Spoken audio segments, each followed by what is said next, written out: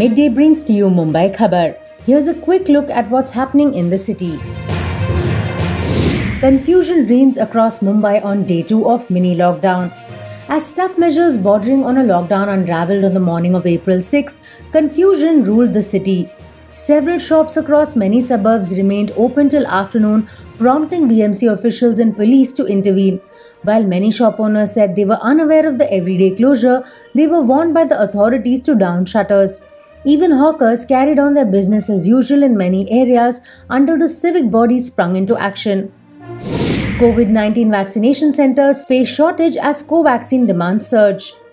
Mumbaikars looking to get vaccinated have been countering the unavailability of Covaxin, the indigenous vaccine created by Bharat Biotech that reportedly has a higher efficacy rate than Serum Institute of India's Covishield.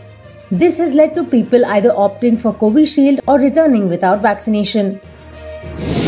Turnout of senior citizens of COVID 19 vaccine low in Mumbai over the past week. It seems like the rise in COVID 19 cases also affected the enthusiasm of senior citizens in coming out to take their shots.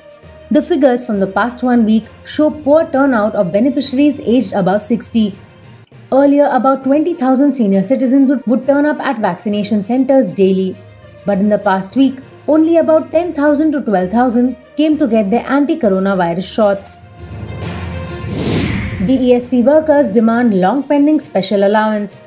On April 6, BEST employees complained to the management saying that the undertaking has not paid a special daily COVID allowance promised to them since June 2020. To boost the morale of the BMC and BEST workers during last year's lockdown, they were paid an additional rupees 300 a day in their first few months. The BMC then said they won't get the allowance from January 2021. Beaches in Mumbai to remain shut till April 30th as COVID 19 cases spike.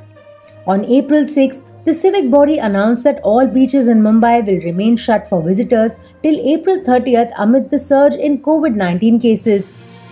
Municipal Commissioner Iqbal Singh Chahal issued the order to this effect, directing all assistant municipal commissioners to ensure that all the beaches remain shut throughout this month.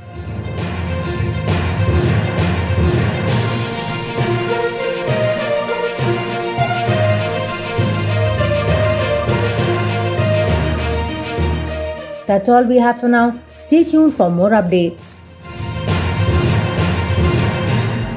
Subscribe to Midday India. Get direct notifications on all our videos by clicking on the bell icon.